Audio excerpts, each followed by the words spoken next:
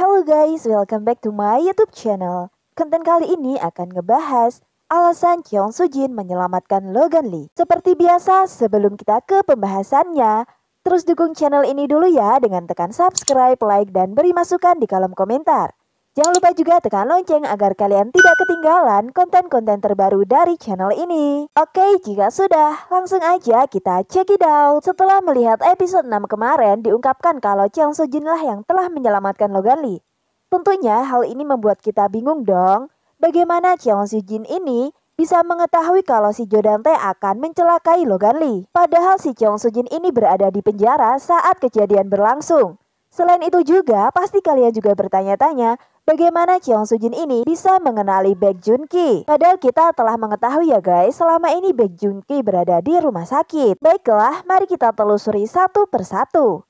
Kita mulai dari masa lalu dulu ya guys. Saat Cheong Soo Jin masuk ke dalam penjara, Cheong Soo Jin benar-benar sangat menderita dan dipenuhi dengan api balas dendam. Cheong Soo Jin juga sangat marah kepada Jo Dante. Selain itu juga, kita ketahui dulu sebelum Jo Dante dan Cheong Soo Jin ditangkap, Cheong Soo Jin ini diperlakukan semena-mena oleh Jo Dante. Bahkan si Jo Dante ini sempat mengurung Cheong Soo Jin agar tidak bisa bertemu dengan Han Biao. Tidak hanya itu, Jodante bahkan mengambil semua kekayaan Cheong Soo Jin dengan menghalalkan segala cara. Jadi kemungkinan besar saat di dalam penjara, Cheong Soo Jin sudah mempersiapkan semua rencana balas dendamnya. Kita juga dapat mengetahui kan guys, kalau saat di dalam penjara, Cheong Soo Jin sering dikunjungi oleh sekretarisnya. Bisa jadi saat itu mereka merencanakan sesuatu. Kemungkinan Cheong Soo Jin memerintahkan sekretarisnya untuk memata-matai Logan dan melacak semua pergerakan karena Jian Sujin tahu kalau Logan Lee adalah kartu as yang sangat penting untuk menghancurkan Jodante. Nah, kemungkinan besar juga saat memata-matai Logan Lee, sekretaris Jiang Sujin ini menemukan fakta kalau Logan Lee terus bertemu dengan seorang pria bernama Baek Jun Ki. Jiang Sujin mungkin bertanya-tanya mengapa orang itu begitu istimewa sehingga membuat Logan Lee berusaha untuk mengeluarkannya dari rumah sakit dan membawa Baek Jun Ki ini kembali ke Korea.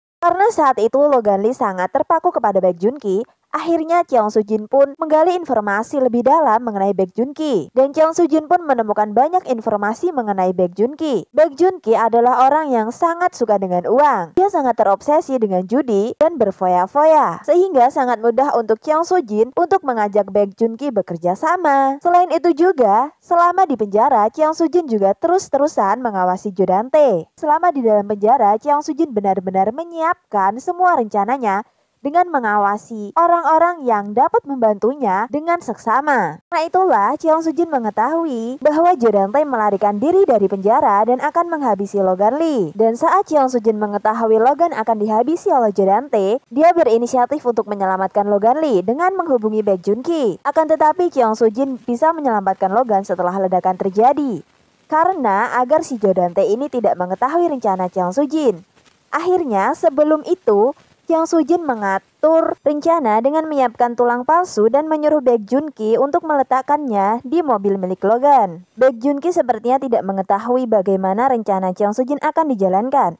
Baek Junki hanya berpikir dan peduli dengan uang yang akan diberikan oleh Cheong Sujin. Jadi, Baek Junki bertindak sesuai dengan apa yang diperintahkan sekretaris Cheong Sujin. Setelah kejadian ledakan terjadi, sekretaris Cheong Sujin bersama dengan Baek Junki dengan cepat membawa Logan Lee dan memberikan Logan Lee perawatan. Dan selama ini Cheong Soo Jin diam-diam menjaga dan memberi perawatan kepada Logan Lee agar Logan Lee ini masih hidup. Setelah mendapatkan kartu as, Cheong Soo Jin ingin segera keluar dari penjara. Jadi, ia melakukan sebuah drama dengan berpura-pura sakit jiwa. Akhirnya, Cheong Sujin bisa dibebaskan dari dalam penjara. Karena Cheong Sujin membutuhkan banyak orang dan dukungan, akhirnya Cheong Sujin mengeluarkan Hayun Chul dari penjara juga. Hayun Chul sangat ingin keluar dari penjara. Akhirnya, Hayun Chul menerima kesepakatan dengan Cheong Sujin. Akan tetapi, saat itu Cheong Sujin tidak memperlihatkan identitas aslinya. Hayun Chul bersedia melakukan semua perintah Cheong Sujin, yaitu merawat Logan Lee, dengan imbalan keluar dari penjara. Karena Hayun Chul sangat marah kepada Jedante, bahkan ingin membunuh membunuhnya, akhirnya Jiang Sujin memanfaatkan kesempatan ini dengan terus memerintah Hayun Chul untuk lebih dekat lagi dengan Jodante. Dengan begitu, Jiang Sujin mendapatkan semua informasi mengenai Jodante dengan lebih mudah. Sebenarnya menyelamatkan Logan Lee bukanlah rencana utamanya, asalkan si Logan Lee masih hidup, Jiang Sujin masih memegang kartu as milik Jodante. Sebenarnya Jiang Sujin sangat ingin kembali menjadi penyanyi sopran dan menjadi direktur pusat seni A. Tetapi pada hari pembukaan pusat, Oh Yun Hee datang dan menjatuhkan bom besar bahwa dia memiliki lebih banyak saham di pusat seni A. Selain itu juga, Oh Yun Hee juga mencalonkan diri sebagai posisi direktur.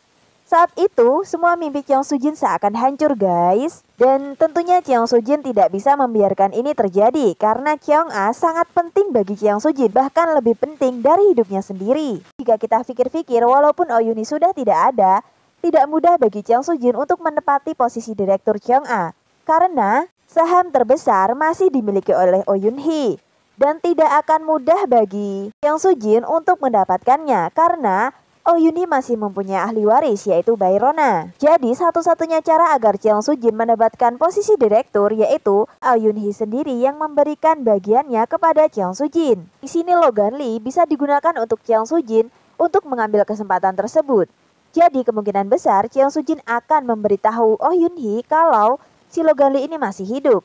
Akan tetapi sebagai balasannya Cheong Sujin meminta saham Oh Yun Hee gak diberikan kepada Cheong Sujin sehingga Chiang Sujin bisa menempati posisi direktur. Namun sebelum Chiang Sujin menjalankan rencananya untuk menghubungi Oh Yun Hee dan melakukan rencananya tersebut, Oh Yun Hee sangat sibuk untuk mencari kebenaran tentang keturunan Sim Suryon. Tepat pada saat itu ada kejadian yaitu diculiknya Han Byul. Nah, Oh Yun Hee emang dasarnya baik ya guys. Akhirnya Oh Yun Hee ini berusaha mati-matian untuk menyelamatkan Han Byul. Nah, dan saat kejadian di tebing, kemungkinan besar Cheong Sujin ini buta hati, buta mata karena mengingat kenangan-kenangan buruk yang diberikan Oh Yun Hee kepada Cheong Sujin. Jadi tanpa pikir panjang, Cheong Sujin menghabisi Oh Yun Hee malam itu dengan mendorongnya dari tebing. Dan setelah kematian Oh Yun Hee, Cheong Sujin ini mendapatkan semuanya, mendapatkan semua keinginannya, mendapatkan semua apa yang ia inginkan. Akan tetapi di dalam hati kecilnya, hati nuraninya sebenarnya Cheong Sujin ini sangat bersalah kepada Oh Yun Hee. Karena dapat kita ketahui ya guys, kalau Oh Yun Hee telah menyelamatkan anak yang sangat ia cintai yaitu Han Byul. Mungkin karena Cheong Sujin sangat merasa bersalah kepada Oh Yun Hee, akhirnya Cheong Sujin memutuskan untuk memenuhi keinginan terakhir Oh Yun Hee, yaitu menyelamatkan Logan Lee. Jadi kurasa seperti itulah guys. Cheong Sujin menyelamatkan Logan Lee untuk membayar semua kesalahan-kesalahannya kepada Oh Yun Hee dan sebagai kartu as yang ia pegang untuk menjatuhkan Jo. Dan nih menurut kalian, jika kalian mempunyai spekulasi lain yang berbeda dengan teori kali ini, kalian bisa tulis ya di kolom komentar. Aku rasa cukup sekian konten kali ini. Terima kasih telah tonton video ini sampai habis. Mohon maaf bila masih banyak kekurangan dalam konten kali ini. Sampai jumpa di konten selanjutnya. Bye-bye.